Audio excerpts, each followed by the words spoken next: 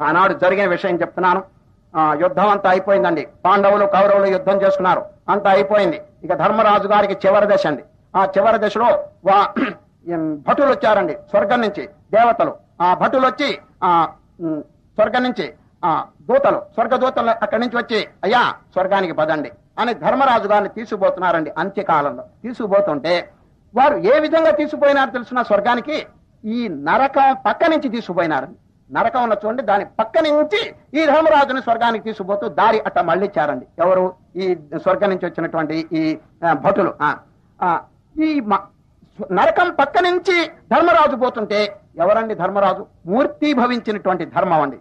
ఈ నరకలోకంలో ఇంతవరకు వేడి వేడి గాలి ఆ తాపం. ఈ తాపంతో పాపులంతా నానా అవస్థ పడుతున్నారండి. వేడి గాలి. దాంతో అవస్థ పడుతుంటే ధర్మరాజు గారు నరకం బయట నిలబడగానే చల్లటి గాలి. వ్యాపించిందండి. నరకం అంతా వ్యాపించి ఎయిర్ కండిషన్ ఎయిర్ కండిషన్ అయిపోయింది నరకం అంతా. అప్పుడు ఈ పాపులకి ఆశ్చర్యం కలిగింది. నారాయణ ఇంతవరకు మనం వేడి గాలి అనుభవిస్తూ నానా బాధలు పొందుతున్నామే. ఇప్పుడేదో చల్లటి గాలి. ఇంతవరకు మన హిస్టరీలోనే ఇటువంటిది లేదు. మన చరిత్రలోనే లేదు. దీనికి కారణం ఏమిటో కనిపెట్టాలి. అని ఆ నరకంలో ఉండే పాపులంతా బయలుదేరారండి. అక్కడ కూడా సంఘం ఉందండి. ఆల్ ఇండియా సిన్నర్స్ అసోసియేషన్ అక్కడ. అఖిల భారత పాపాత్ముల సంఘం ఉందండి అక్కడ. వారందరూ ఒక అసోసియేషన్గా చేరి ఈ చల్లటి గాలికి కారణం ఏమిటి అని బయలుదేరారు. ఎక్కడ చూసినా ఏమీ కనిపించలేదు కానీ నరకం బయట ఈ కొత్త ఆయన నిలబడ్డాడు. ఎవరండి? ధర్మరాజు. ఆ ధర్మరాజు గారు నిలబడితే అందరూ అక్కడ పరిగెత్తుకొచ్చారు. ఎవరు? ఈ పాపులంతా. కాళ్ళ మీద పడ్డారు. ఏమండి మహానుభావ? మీ యొక్క అస్తిత్వం మీ యొక్క ఉనికి చేత మా నరకం అంతా కూడా ఆనందంగా ఉంది చల్లటి గాలి వీచింది. ఇప్పుడు మా సంఘంలో ఏకగ్రీవంగా ఒక తీర్మానం పాస్ చేశాం. ఏమిటో తెలిసిన తమరు ఇక్కడి నుంచి కదలబాకండి అని.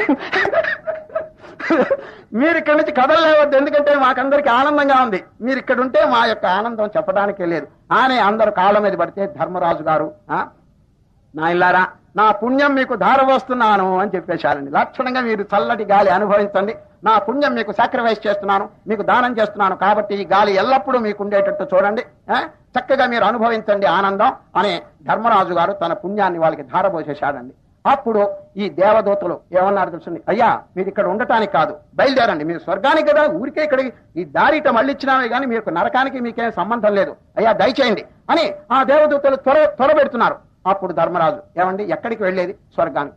స్వర్గానికి ఎవరు వెళ్తారు? పుణ్యం ఉండాలి కదా. పుణ్యం ఉంటేనే కదా స్వర్గానికి. నా పుణ్యం అంతా వీరికి త్యాగం చేసి దానం చేసేశాను. ఇప్పుడు నాకు పుణ్యం లేదు. కాబట్టి స్వర్గానికి నాకేం అధికారం ఉంది? అన్నాడండి.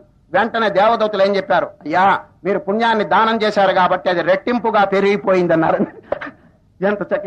ఇట్ హాస్ బికమ్ డబుల్ అని కదిలి నెమ్మదిగా వాళ్ళు తీసుకుపోయినారండి స్వర్గానికి. చూచారా ఈ చిన్న ఘటన వల్ల మనం ఏం తెలుసుకోవాలి? ఒకరికి ఇచ్చినందువల్ల ఎప్పుడూ తగ్గదండి అది. సాక్రిఫిషియల్ స్పిరిట్ ఆ త్యాగపూర్వకమైనటువంటి దాంట్లో ఆ మహత్తరమైనటువంటి శక్తి ఉన్నదండి అది. కనుకనే ఆ దానం అనేటువంటిది ఎవరికి శక్తి కొలది? ఆ? బీదలకు గాని ఎవరికైనా దాన ధర్మం చేయటం చాలా మంచిదండది